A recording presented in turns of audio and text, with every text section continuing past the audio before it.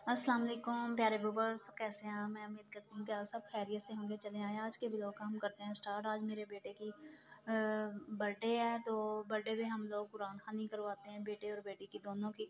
तो रायता हम बनाने लगे हैं और साथ में पुलाव की देग ये देखिए, रायते हम डालेंगे, चटनी हमने ग्राइंड करके रखी है। इसके अंदर डालेंगे, ये हमारे पास दही है और इसके अंदर जाएगा प्याज, जाएगा सुरख मिर्च जाएगी। और नमक जाएगा, चाट मसाला जाएगा और चार, तीन, चार ये सब्ज़ मिर्ची हैं और ये पकौड़ियाँ हमने भिगो के रखी हैं। और ये देखें हम बच्चे तलावत कर रहे हैं, माशाल्लाह से। ये देखें। तो आप भी दुआ कीजिएगा, सब अल्लाह ताला मेरे बेटे और बेटी को लाइक नेक बनाए, इनकी उम्र दराज करे। नहीं व्यूवर्स अब नात खानी स्टार्ट हो गई है।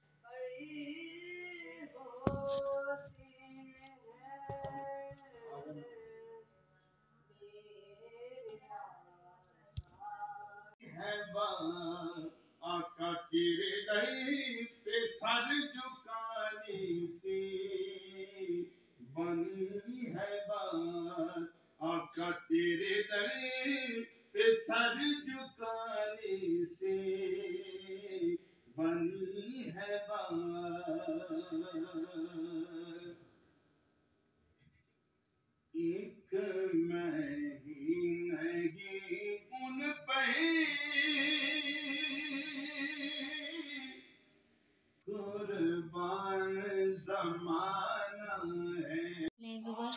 देग हमारी माशाल्लाह पक के आ गई है।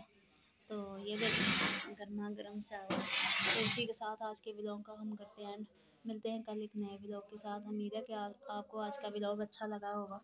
तो मेरे चैनल को ज़्यादा से ज़्यादा लाइक करें शेयर करें सब्सक्राइब करें। अल्लाह हाफिज़।